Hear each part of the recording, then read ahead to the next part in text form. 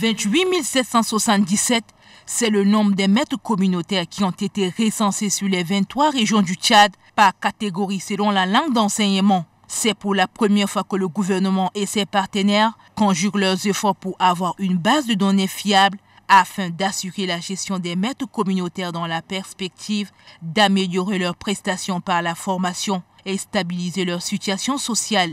Le comité technique, après l'élaboration d'une dizaine d'outils, s'est rendu sur le terrain. Pour la première fois, c'est pour sensibiliser les acteurs locaux sur la nécessité de faire enrôler les maîtres communautaires sur l'ensemble du territoire. Le ministre de l'Éducation nationale et de la promotion civique, Aboubaka Assidik Choroma, a mis l'accent sur la planification crédible et la gestion efficace des maîtres communautaires.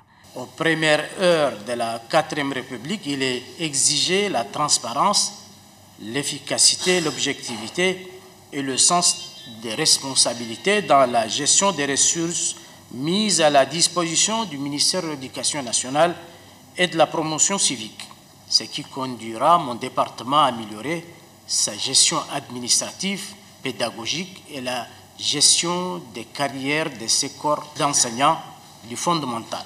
Le chef du département de l'éducation nationale de poursuivre que les plus hautes autorités du pays font du renforcement du capital humain le socle sur lequel le développement du pays doit se construire.